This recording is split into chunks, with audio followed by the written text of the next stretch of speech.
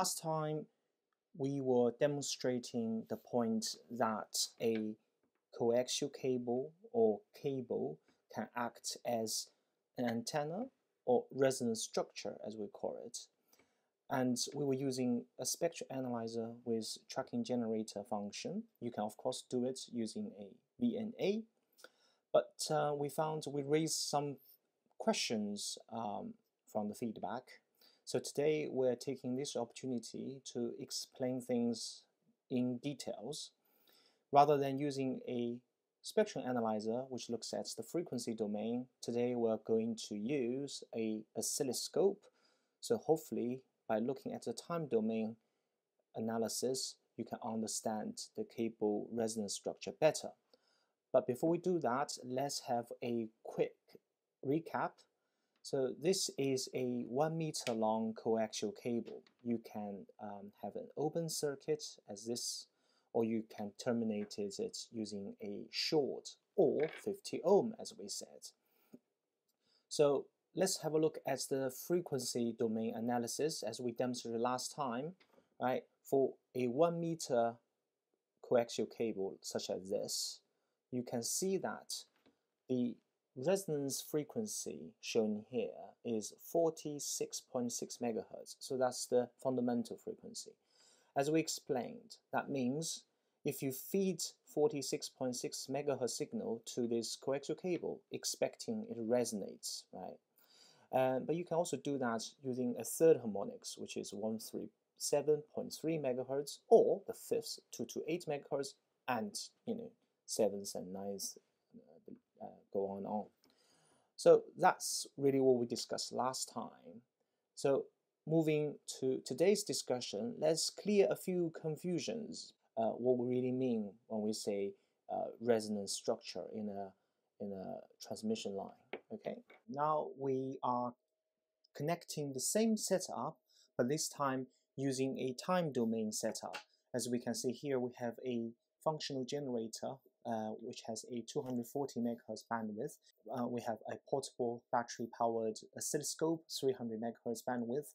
So that should be more than enough for this demonstration.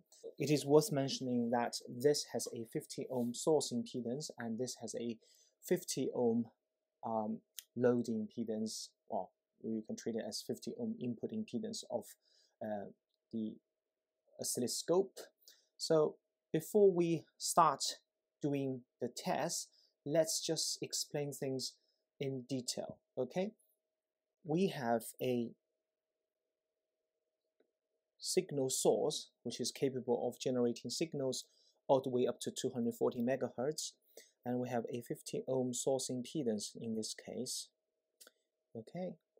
And we have a one meter, about one meter, maybe 1.1 meter long coaxial cable, but in this case, I draw it in a way that represents a, um, a transmission line, okay? And what we're saying, because from the calculation sheet we did, right, we're saying that at the resonant frequency, right, at the resonant frequency, in this case, it's about 46.6 megahertz, 46.6 megahertz as a resonance frequency of about one meter long coaxial cable, we expect to see some resonance behavior. So what really means is if I just draw 46.6 megahertz um, signal, then with a open circuit, again, only with an open circuit uh, configuration, we expected to see voltage waveform. Remember, this is a voltage waveform, and it will have a shape like this. Okay, so here we should have a Vmax and here we should have a V minimum. Okay, because we actually we are not you we are not monitoring the voltage at this end because this end as you can see here is is really open circuit but rather we are monitoring the voltage at this end so at the resonance frequency, which is 46.6 megahertz, actually, from this setup, I expected to see a minimum voltage whatever uh, measured here. Okay, this is voltage as I mentioned. If you have a means of measuring current, then current is the opposite, meaning that we should have something like this. This is our minimum current, and this will be our maximum current for a signal that is 46.6 megahertz. Okay? To explain things further, let's have a look. Same, exactly the same, same length. So I'll just say this is d equals about 1.1 meter, let's say. 1.1 meter. We say that this is really the fundamental resonance frequency, but we know it is true for a third of harmonics as well. So for a third of harmonics, in this case, is 137, 137.3 megahertz. What happens is, again, I'm looking at the voltage waveform first. So we expect to see something like this, this, and this. Okay, so that's the third harmonics. With 137 megahertz, we expect to say the same, meaning here we will have Vmax, and here we'll have Vmin. Okay, and same is true for the fifth harmonics. So fifth harmonics will be something like, I don't know, like something like that. Okay, so that's fifth harmonics, and so on and so on.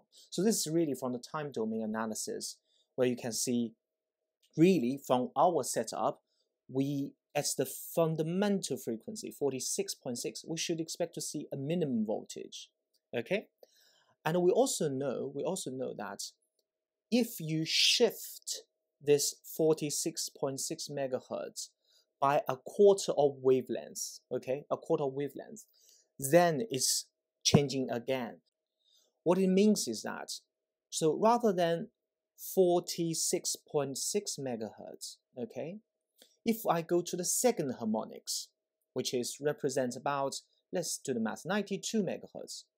So for 92 megahertz, effectively, we should see something like this. Okay, so we'll have a V min here and Vmax here. That makes sense, right? Because as we said, 46.6 megahertz is the resonance frequency. You shift it by another quarter wavelength, then that means, you know, double the frequency, you have V minimum here, but V max here. So this demonstration really shows you this. So let's let's check if it matches. Uh, okay, so we're gonna supply. So currently, as you can see, we have a feeding frequency of, of about 45, 46 megahertz, okay? So that it is, as we said, because at this point we measure minimum voltage, uh, measure minimum voltage. And let's try is it, if it's true with 137.3 megahertz, which is effectively the third harmonics of this. So now I'm going to do 137 megahertz, 137 megahertz you can see it's, it's the same, very small voltage measured at this terminal, right? Measured at this side of the coaxial cable, 137. And we also said that with 92 megahertz, basically we're shifting a quarter wavelength and we should see maximum, okay? So let's try 92 megahertz. So 92 megahertz, boom, voltage increase, right? Voltage increase a lot. And this is where the maximum voltage is measured. We also know, we also know that this, all the discussion we had here is about open circuit condition. What if, if you have a short circuit condition then? If you have a short circuit condition, then again, things changed out of phase. So what you see now if I short circuit it, then it should be zero or almost zero voltage, right, as the minimum voltage. So let's see if it's true. So now I have the open, uh, so short circuit, right, and I just connect it. So again, voltage reduced to the minimum by shorting it. open it, it becomes maximum again. So this is what we tried to say last time, right? And it is true with, uh, again, fifth of the harmonics. So 230 megahertz is about uh, the fifth harmonics. And again, with open circuit, it is minimum voltage we measure at this end. And then again, if you shift a, a 46 megahertz again, then it will become a maximum. So you can see if I supply 190, 190 megahertz, then my voltage increase again. Okay, so that's the discussion we wanted to, to have today, really showing you that it is voltage we're measuring, and we're not really measuring the voltage on this end, but rather on this end, and also understanding this third harmonics, fifth harmonics uh, relationship, and also when you shift by a qu quarter wavelength antenna, you just the, the phase change, the signal changed out of phase. So that's um, the discussion, the first discussion, okay? But then again, all this discussion, again, focusing purely on the differential modes, right? Because again, all the signals are feeding into the co inside the coaxial cable. So whatever the discussion we had is actually a differential mode, and we are measuring voltage. So now let's move to common mode. And for common mode, we are actually going to use a current measurement, okay? for, for current, as we discussed earlier on, right? You have, if again at 46.6 megahertz for this one meter long length, if we we saw that the voltage at this end is minimum, but if we have a method of measuring current, then we expected to see current at its peak, and current at this end will be minimum. Okay, peak current, minimum current.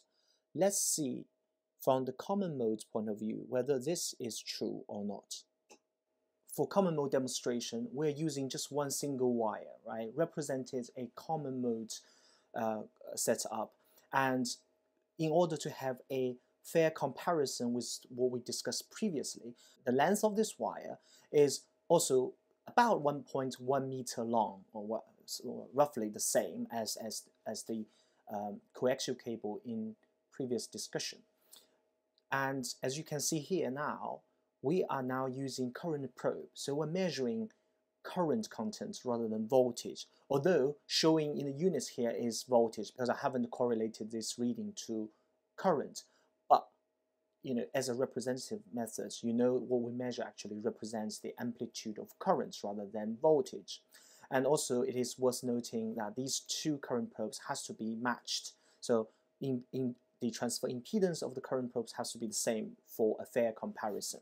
Okay, so as you can see, I'm just plug this single wire into the center of the output of the tracking or output of the uh, functional generator.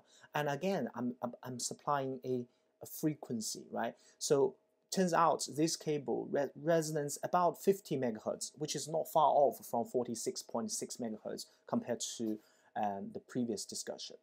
But interesting really, as I wanted to show you is, whereas previously when we measure voltage, we measure minimum voltage at this end. Now, as you can see, this is channel 1.